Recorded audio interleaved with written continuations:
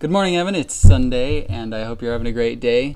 Today, we talked about in church a Bible story found in, I have to look it up because I have terrible memory. Daniel chapter 3. Here in Daniel chapter 3, we have Shadrach, Meshach, and Abednego, and King Nebuchadnezzar, which I love those names. Those are really cool names. And Cassie and I have been trying to find names for our new baby. And we're not going to name our baby one of these names, but I just think they're very interesting names.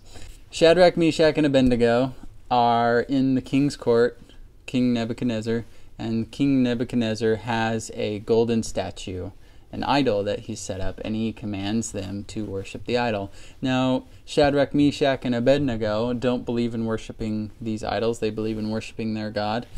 And the king threatens them by saying, I'm going to throw you in a fiery furnace if you don't worship this idol. And they say, No, we're not going to do that. It's no, we're not going to do that. I'm sorry. And so they fire up this fiery furnace and they throw them in there. And Shadrach, Meshach, and Abednego have so much faith that they're saved by an angel protected from the fire. And it's just such a cool story of faith in a time where so many people in the world are doing what pleases other people instead of doing what they know and believe to be right. I think this is a really great story of faith, and I really like it. So that's my story from the day.